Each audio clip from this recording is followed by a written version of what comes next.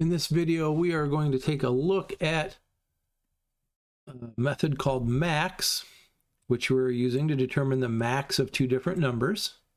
Okay, it has two parameters here. The max method returns an integer to us. Up here in our main method, we're establishing a couple variables, i and j. We're setting them equal to 5 and 2, and then we're calling max with i and j as the arguments. So i will be 5 and j will be 2, those arguments will get passed into the parameters num1 and num2. So they, num1 will be 5 and num2 will be 2. When that method gets done running, we're storing the result uh, in this variable called k. Now, in our last video, when our values were returned, we printed them directly to the screen. It's important to remember when you call a method, if it's a value returning method, you have to do something with the information that is returned. In the last video, we printed the information out to the screen. In this video, we're storing the result from given back to us from this max method into a variable called k, and then we can use it down here. Uh, and we, are using it right here. We're using k. So if, if you need to use it more than once, or you don't want to print it directly out, you have to store the result in some kind of variable. And that's what's happening here. So as this runs, we set i to 5, we set j equal to 2, then the max method gets called with 5 and 2, which are the values of i and j. 5 gets stored in number 1, 2 gets stored in number 2. We test to see which one's bigger is 5 greater than 2? Because that was what was stored, right? Is 5 greater than 2? It is. So our result is going to be set to the value of 5, which was number 1. It won't run, we won't do the else statement because this part was true. And then we're going to return the bigger number, which was 5. It gets returned back to the place where we called it, stored in the variable k, and then here we can print out the maximum between i and j is k. Um, I think I'm missing a curly brace down here. So let's execute this program. And we can say that the maximum difference, the maximum between 5 and 2 is 5 because 5 is bigger than 2. But what I want to do is actually run this and trace the execution using our debugging tools so we can watch this process as it happens. So I'm going to put a breakpoint here right at the very first line uh, that gets executed in our main method, uh, the i equal 5, and we'll go ahead and run this with debugging. And it's, the green line here indicates this is the next line that's going to run. I am going to use step over. Okay,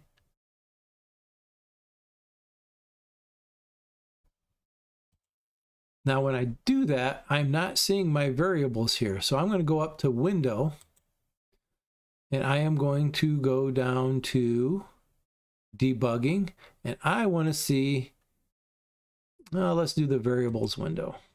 So now my Variables window pops up. And I can see here my variable i is set to 5 because I want to I want to watch these values as we go through here. Okay. So if you don't see, when you're in debugging, if you don't see your variables window, you can go to window under debugging and see different windows that are available for us in debugging. So I turned on the variables window. All right, so I is set to five. We're gonna go ahead and run J. I'm gonna do step over. Okay, so now we can see J here is set to two. And then the next line that's going to be executed involves this method call. Now I'm going to step over this time so you can watch what happens. I stepped over it, and you can see that k now is set to 5. We got our result k. When I said step over, the question is what am I stepping over? And what I stepped over is this method call. Okay. So we didn't trace the program's execution down through this method. But if I'm using a method and I'm not sure if it's working and I need to check it, I do want to trace through this method. So let's restart this. And this time, I'm going to start it with debugging again. My variables window is up this time. But instead of using step over, I'm going to use step into. And step into means we're going to follow any method calls that may be there. Now, I don't always want to use step into because I really don't want to go out and troubleshoot Java's print line statement, but I do want to troubleshoot my method. So I'm going to go ahead and use step into for my next one because it didn't have a method call and it really didn't matter. Okay, so there's I set to five, step into, okay, J is now set to two. Now when I click step into, instead, it's going to follow the execution. We're going to jump down here to max. So let's go hit step into. And now I'm down here into the max method that we created.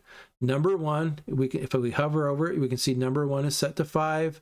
Number two is set to two. So those, those values got passed into these parameters down here. Uh, the more correct way would say the arguments were passed into the parameters. And now we're getting ready to do is 5 greater than 2.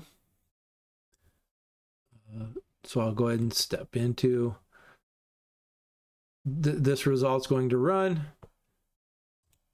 Okay. And then we're going to return the result, which is 5. And it comes back here with the result returned to us. Okay, K is not known yet, but as soon as I hit step into, okay, we can look at K and K is equal to 5. So the, the result of this was set to K. Our program flow returned back up to the point where this had been called, set the value of K. The next line we're going to run is print line. Okay, so I'm going to go ahead and hit step into so you can see what's going to happen here. And now it took me to Java's print stream class and I'm going to go through the whole print line.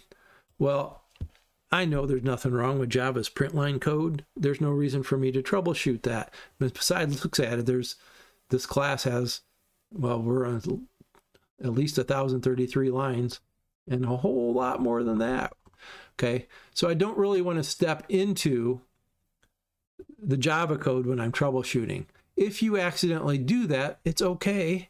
You don't have to sit here and trace through this one line at a time. There is a button up here called Step Out that will take you right back.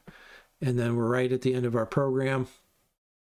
Oh, I'm going to just go ahead and use Step Over. And our program prints out the result that we expected. Okay, so be careful when you're doing your when you're doing your debugging. Please try this because this is how you find problems in your code. You have to be familiar with the debugging tools. So let me do this one more time. Just like I would do it if I was actually debugging. So I would start here. I would do, I would probably do step over, step over. And now I'm getting to the point where I have to make a decision. There is a method call here. Do I want to follow and trace it? I do. So I step into. I'm stepping into my method. I'm watching the results. 5 is greater than 2. That means this shit line should run next. I can go ahead and use step over here. Okay. Step over again. The result got set. The answer is 5. That's exactly what I expected. Uh, I'm going to use step over again. I'm coming up here. We're getting ready to set K. K got set to 5. That's exactly what I expected the next thing that's going to do is this print line. I don't want to follow code execution into this print line method. So I'm going to use step over. And the output got printed and our debugging is over. Um, and everything works just fine. So be careful with your debugging tools. Uh, know that when you call a method, it goes down and executes that method and then returns right back to the point where it was called and does whatever it needs to do with the results. In this case, we set int k equal to those results.